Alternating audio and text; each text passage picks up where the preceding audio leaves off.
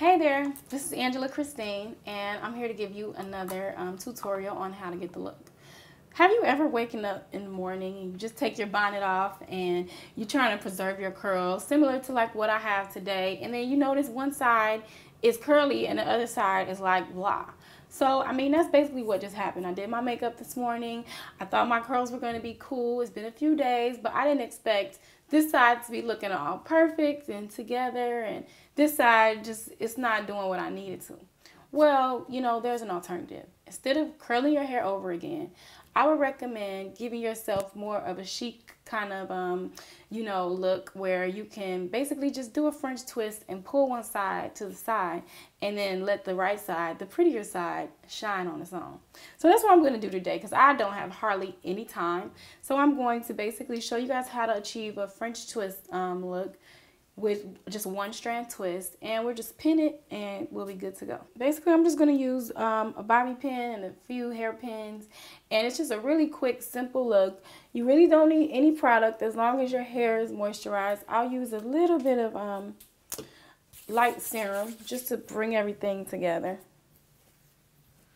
Um, and then I'll use my little fine tooth comb comb it on down, and I'll start twisting. So basically you want to start right at the root front part of your hair, and you want to twist backwards and basically set the tone for the shape of the twist. Now I'm just doing a single strand twist. So I'm just pulling hair and turning it backwards and turning it backwards as I go.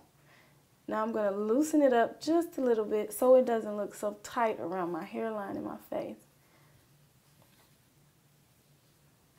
Now I'm still just twisting as I go, twisting it around. And I'm picking up hairs, making sure that they're all pulled in together as I twist.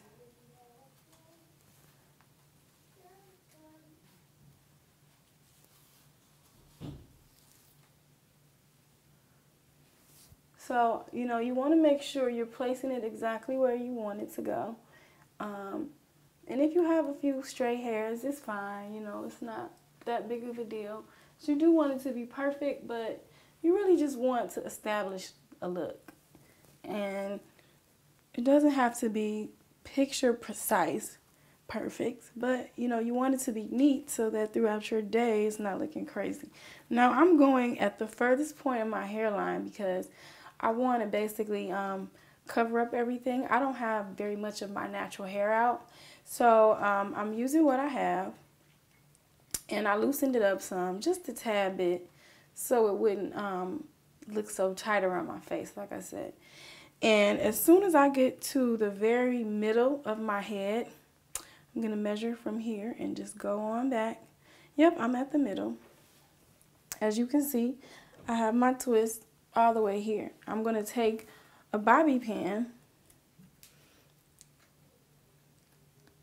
I'm going to open up the bobby pin and I'm going to grab hair and poke in the opposite direction of the way the twist is going. This is basically going to stop the twist from moving or it's going to keep it in place. So you make sure you get that stable and sturdy. And you know, you really only need one or two pins.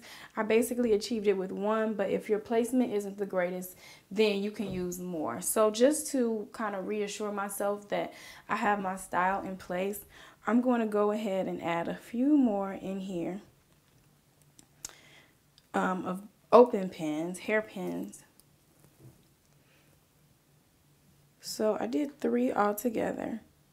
Now, if you poke yourself, I would recommend you repositioning the, the bobby pin before, you know, it starts to hurt too badly because you could be puncturing your scalp.